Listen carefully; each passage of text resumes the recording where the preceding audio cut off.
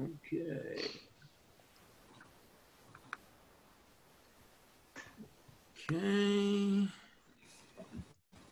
All right, can everyone see that? Absolutely. Okay, so, um, so this here is a technique that I use for making, for making small boats. Um, what I'm going to do is I'm doing this as a PDF, I guess. Yeah, well, with the PDF, I could pro, let me see this if it works. Yeah, okay, fine. Okay, I could do it that way. All right. Hang on, I gotta get back to the beginning again. Here it is over here. Okay, good. All right. So basically, what I'm going to this short talk on, and I, I want to tell you that this is this is not um, an original technique. This is something that I've learned over the years from various people. I guess Jim Roberts, if you might remember Jim, and some other people. But um, um, there are many ways to make small open boats. If you're working in a large enough scale, uh, there are ways to, to, to plank it over a plug. Um, you make a plug and then you plank over the plug. I'm working an eighth inch scale. And an eighth inch scale, trying to plank an eighth inch scale, understanding that most small boats are planked with planking about three quarters of an inch thick or maybe thinner, uh, is really kind of silly. So, um, this is my technique for making boats in scales uh, below uh, 3 16ths. Um, um, all right. All right, so depending on how small a boat is, you can choose to simply carve the hull from a single block of wood. It Requires a good deal of estimating of the shape of the hull. Uh, I use what's called the lift method. Um, basically what the lift method is, and I'll describe what the lift method is. As an aside to this, something that people um, may know, may not know, um, uh, if you uh, look at the models that are in the Rogers collection, the um, the models built in the uh, 18th century and um, maybe 19th century, um, we, especially when you're building um, um, sailing ships, and wooden ships, we obsess about planking, we obsess about framing and that kind of thing. And then you go and you look at the models in the Rogers collections, and and Rob Napier has a book on um, on the, the Royal Royal Caroline that he had to uh, that he had to repair uh, in the Rogers collection uh, for the Naval Academy. And what you will find there is that those models up to the lowest deck are actually built using the lift method. And, and the planking is actually scribed on the hull. So lift method has been around for quite a while and, you know, so if you're gonna paint it, it works fine. So here's a typical plan. And to do the lift method properly, can you see the hand here? I think you can. Okay, let's use the selector tool instead.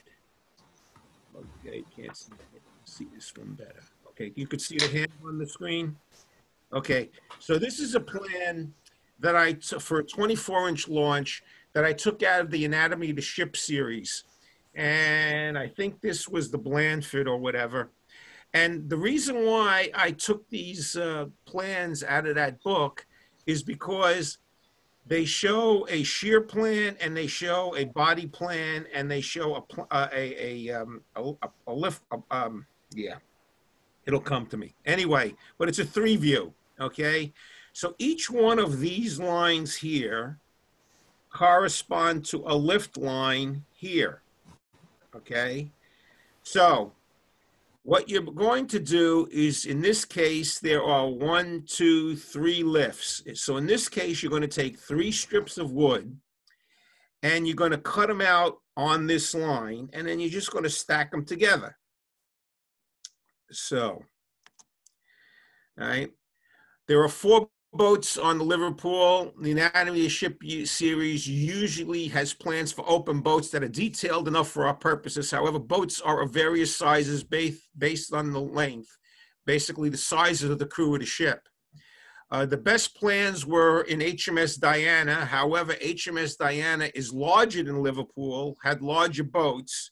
So I needed to convert the two largest boats to meet the needs of a 28 gun six, six, uh, 28 gun sixth rate, uh, sixth rate frigate.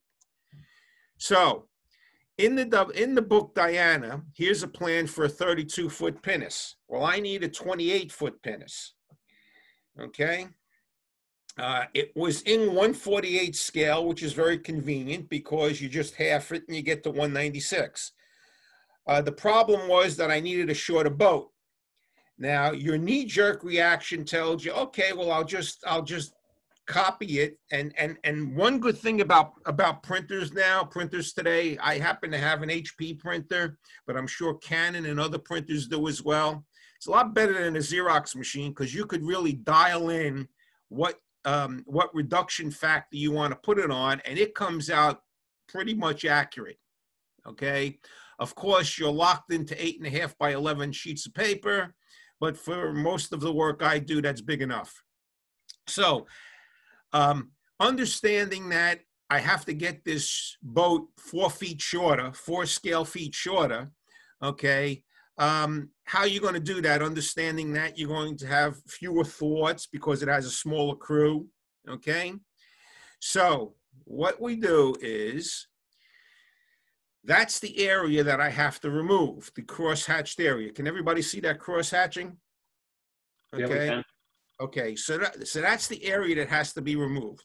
Now, I judiciously placed it into two areas at the dead flat section of the, of the plan, at the midship section of the boat, and I also put it on either side of a thwart so that when I put the thing together, okay, I have the right number of thwarts, okay?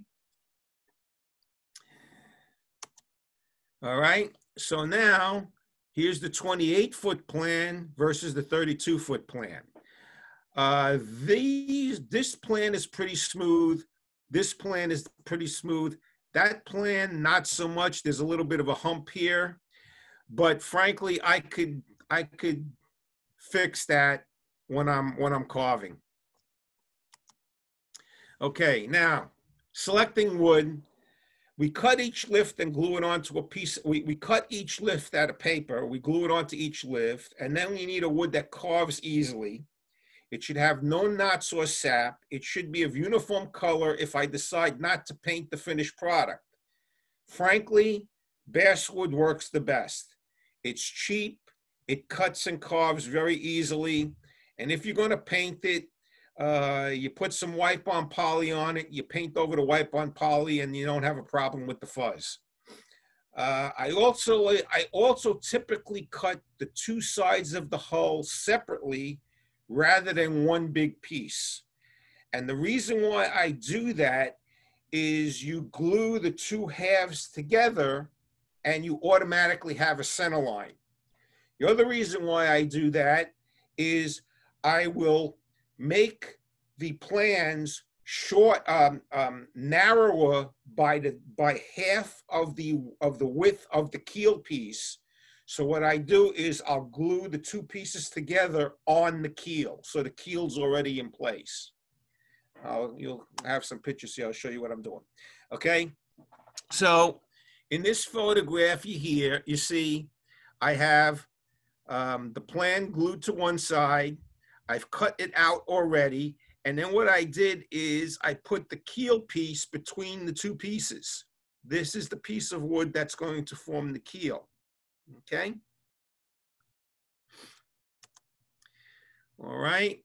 Uh, I cut the lifts using a scroll saw. It's very delicate work. I showed you my, my Excalibur saw. That's what I use to cut the lifts. You can do the same with a coping saw. You could do the same thing with a jeweler's saw. Uh, jeweler's saw works well. Uh, you just have to, you have you need a bench extension um, that you can get from Micro-Mark.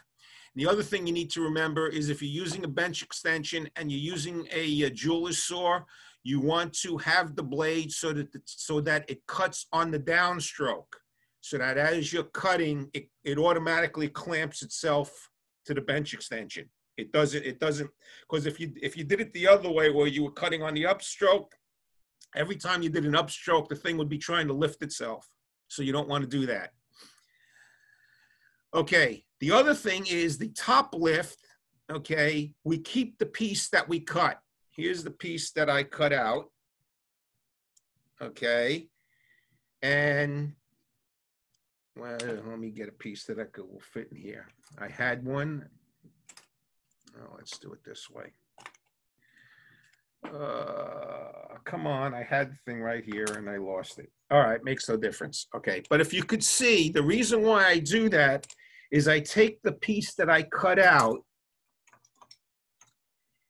and I put it back inside. And the reason why I do that is so when I lay it on the bed of the scroll saw, I can now cut out the shear.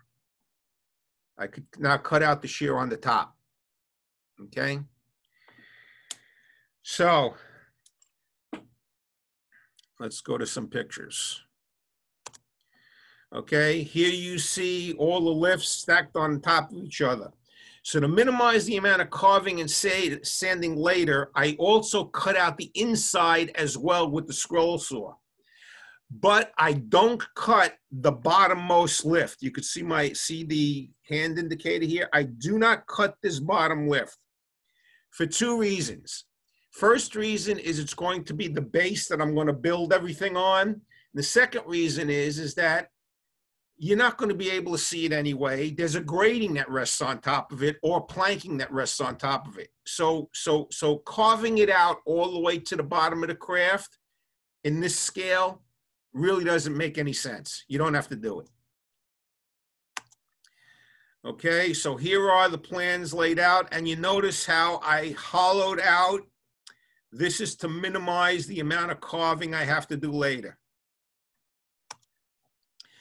The hull is in two halves. The reason for that is the stem keel and stern post assembly is sandwiched, sandwiched between the two halves, and I have to spell halves, right? Note also that the lowest lift is left solid. Before you carve the inside, it is important that you completely carve the outside. So I'm carving it in two halves. I carve the outside first. Okay, I carve the outside first. What I do is I lay them on top of each other. I lay the lifts on top of each other, and then I take a pencil and I, I, I, I line where the two lifts come together. And the reason why I do that is I know when I'm carving the outside, I know that I have to leave about a 32nd of an, of an inch to that line, or I'm not going to be able to glue the things together. I'm going to punch right through the hull.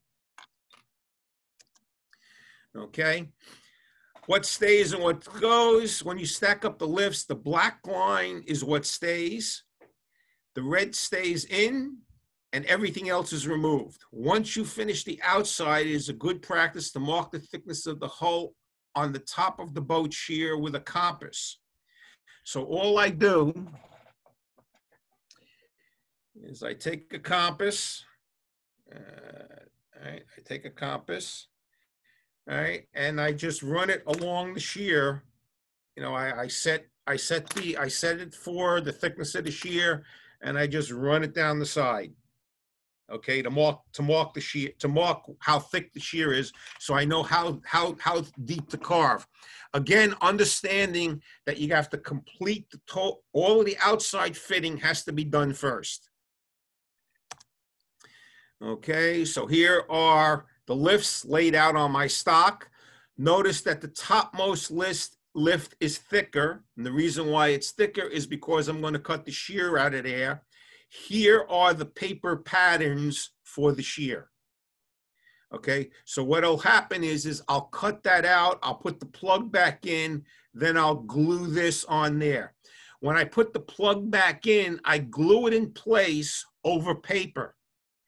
So I, will I'll, I'll glue the paper in.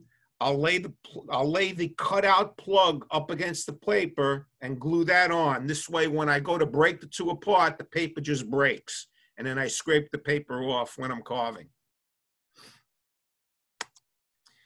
Okay, more details here. Okay, the shear is cut. Uh, if you could see down here, I have the shear glued onto the plug and you might see the seams here. Okay, so so I, I, I glued the plug into the part that I cut out and I glued the shear plan over it. Okay, Now you come to shaping it. Okay, and I'm going to start removing it. Now, some of the tools that I use. Okay, and I'll just bring it up. I have a hand piece on a Dremel. I have a regular Dremel. I have. So, so what we're seeing is your PDF. If you're showing something live, I think I need to switch the view. Oh, okay. I'm sorry. You won't see that. Okay, never mind. Well, if you if you put up your participants, you you'll be able to see it. Okay. Anyway, well, it's a, it's a it's it's a dental burr. Okay, it's a dental burr. When I'm done when I'm done with this, I'll I'll cut off the screen share and I'll show you what I got here. Okay. Uh, making progress. The top photo shows the lifts trial placed together. The bottom photo shows the starboard side lifts with the trial stem, keel, and stern piece down here. Okay, the carving's complete, and I have some demos I'll show you, but you could see the inside carving and the outside carving is both complete. Note that the bottom interior lift is left in play, is left full thickness. Okay. Tom, Tom, I have you in side by side mode now. If you want to show something, I Oh, still sure. had I still had Don uh, spotlighted. That was part of my problem. Okay, so here's, here's the compass that I use. Okay, and again, you just, you just make the leg, you know, you, you adjust it down. So it's the thickness of your bulwark, maybe a little bit thicker. And then you just run it down your plug. You run it, you run it down, you run it down your plug. Uh, do it right, okay, to show the thickness of your bulwark. Okay, uh, this is a piece that's been cut out okay and not completely not not completely not completely shaped but you could see i have the thickness of the bulwark. The pieces that the things that i use to carve okay i have a dremel hand i have a dremel drill on a hand piece someday i hope to replace this with a Foredom we'll see okay um, some of the things i use i use dental burrs uh, I'll even use an X-Acto knife. I'll use an X-Acto knife to, uh, to remove a lot of material in a hurry. I'll use sanding discs with a Dremel. Once I have it down to where I want it, something that works well for me, and I think I passed this idea on to Ryland a while back for his mask and stuff. Scraping, especially with, with harder woods, but even with basswood, works wonderfully. If you were doing full-size work, you'd be scraping with a spoke shave or something, or a plane. Uh, in the scales that we're working in, a razor blade works fine.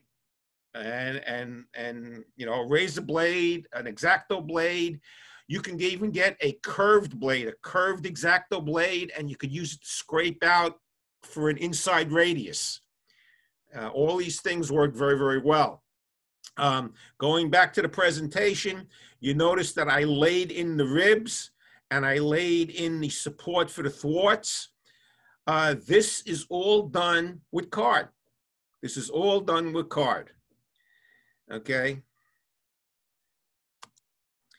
All right, and these are the completed boats. This is the 24 foot launch.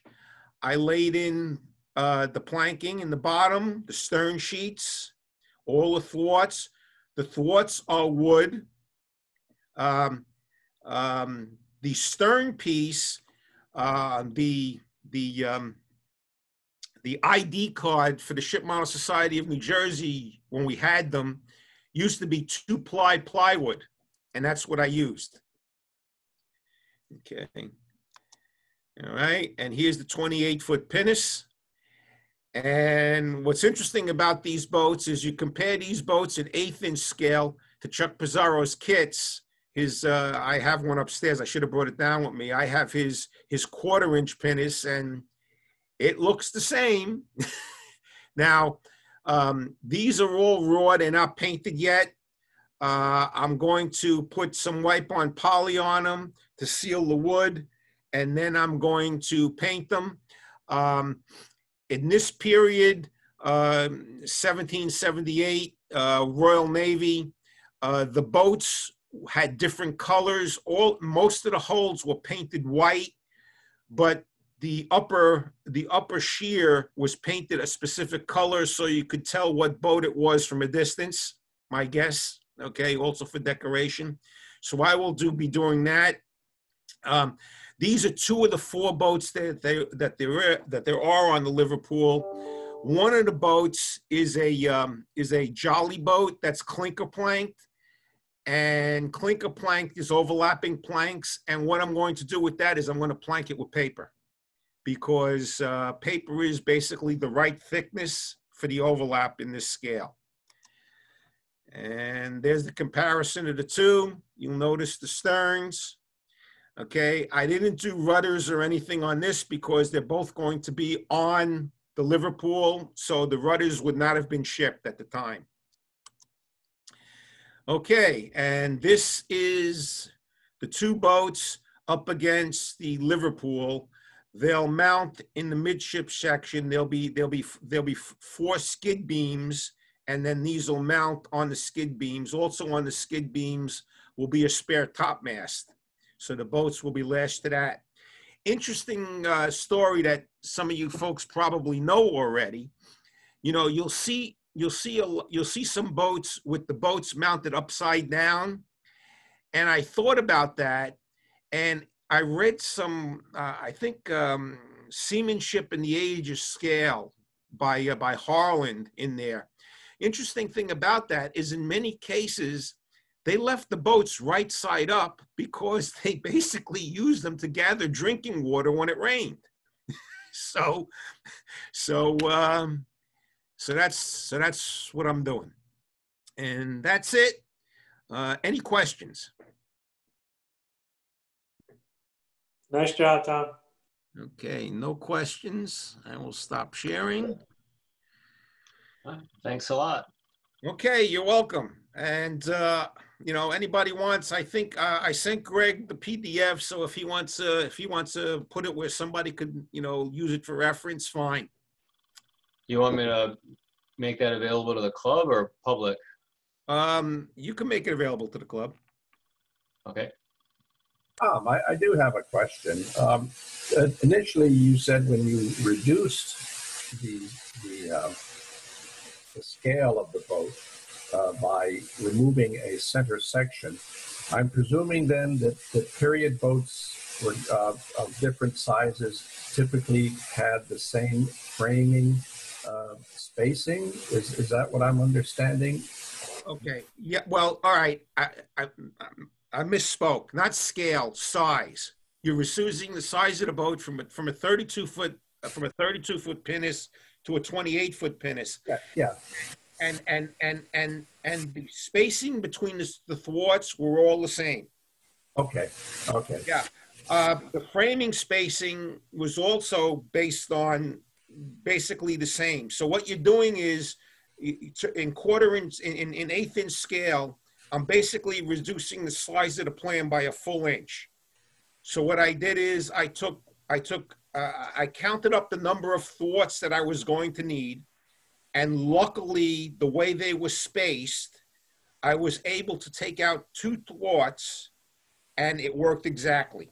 Okay, okay. So this is not a, a typical practice then. I mean, at, at, some point, the framing spacing would vary between sides of the boat, but since they were so close, uh, right.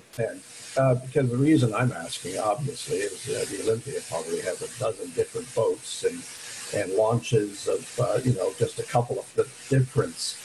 And this would be a perfect way to, to, to rescale a one design boat into various boats. If they're clo- if they if they're the same quote unquote type boat and they're close enough together this works okay uh, i do know like like for olympia that you're working on one of the things that draw that drives me crazy about these great white fleet ships is they have all different kinds of sizes of armaments and dozens of different size boats. So you know, it's. Oh, I know, I know, and that's one reason why it's sitting in the corner, and I'm working on a DE now.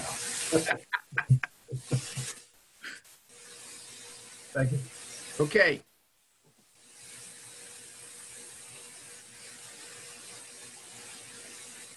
Any other questions? None? We're good to go, Greg. Unmute, Greg. Greg, you're muted. Thank you. Sorry. Greg, you sound great. Yeah, yeah, thanks. Smart Alec. Uh, so that concludes the meeting. Once again, we won't be meeting at Smoke, unfortunately. Oh, no.